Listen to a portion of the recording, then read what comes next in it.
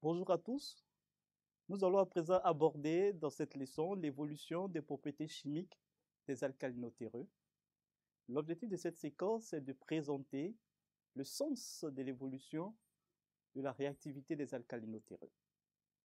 Nous rappelons, et comme l'indique le tableau suivant, que les structures électroniques des alcalino-terreux s'appuient sur celles des gaz rares qui les précèdent, avec bien sûr une couche plus qui contient deux électrons.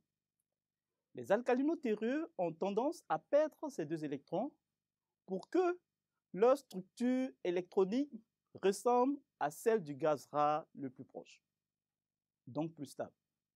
Nous présentons ici la structure de l'atome du magnésium, à titre d'exemple, dont la configuration électronique est de 3s2, précédée de celle du néon. Lorsque le magnésium perd ses deux électrons, il devient ion magnésium avec la structure électronique du néon, qui est le gaz rare qui le précède. Lorsque Z augmente, les électrons périphériques se trouvent de plus en plus éloignés de l'attraction du noyau. Donc, de plus en plus facile à arracher. Ainsi, cette aptitude à perdre ces électrons augmente du beryllium au barium. Du fait que les alcalinothéreux perdent facilement les deux électrons de leur dernière couche, ils sont très réactifs. Néanmoins, ils sont moins réactifs que les alcalines que nous avons vus dans la leçon précédente.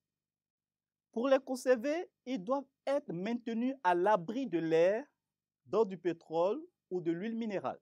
Sinon, ils se recouvrent d'une croûte d'hydroxyde de carbonate en absorbant la vapeur d'eau et le gaz carbonique de l'air. Tous les métaux alcalino-terreux sauf le beryllium, réagissent avec l'acide pour former un ion métallique et un gaz, c'est-à-dire l'hydrogène. Selon la réaction suivante, donc M, le métal métaux-alcalin, plus H+, donne M2+, plus H2 gazeux.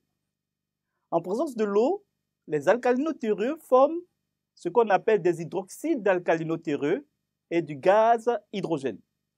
Et la réaction qui a lieu, c'est le métaux alcalin sous sa forme solide plus 2H2O liquide qui forme M2 plus 2OH plus H2 gazeux. Le magnésium réagit lentement avec l'eau à moins que celle-ci soit bouillante. Mais le calcium réagit rapidement, même à une température ambiante. Le calcium, le strontium, le barium réduisent l'hydrogène gazeux lorsqu'on les chauffe pour former ce qu'on appelle des hydrures. La réaction avec le calcium donne, donc nous avons le calcium sous sa forme solide, plus l'hydrogène H2 sous sa forme gazeuse, qui vont former l'hydrure de calcium, c'est le CaH2 solide. Les métaux alcalineux chauffés sont suffisamment forts pour réduire l'azote gazeux pour former ce qu'on appelle des nitrures. Donc, à titre d'exemple, lorsque nous utilisons le magnésium comme métaux alcalino-terreux, nous avons 3 Mg sous sa forme solide plus N2 sous sa forme gazeuse qui forment Mg3N2 sous sa forme solide. Il faut dire que le magnésium peut aussi réduire et brûler le dioxyde de carbone selon la réaction. 2 Mg solide plus le CO2 sous sa forme gazeuse, c'est-à-dire le gaz carbonique, forme 2 MgO solide plus le carbone sous sa forme solide. Voici ainsi présentée l'évolution des propriétés chimiques des alcalinothéreux. L'on retiendra que du fait de la présence de deux électrons sur la couche de valence des alcalinothéreux, ceux-ci sont très réactifs et cette réactivité augmente lorsque le numéro atomique Z augmente.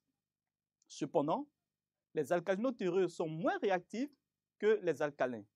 Et de ce fait, les réactions pour avoir lieu doivent être très souvent chauffées. Et je vous souhaite donc bon courage pour cette séquence et à bientôt.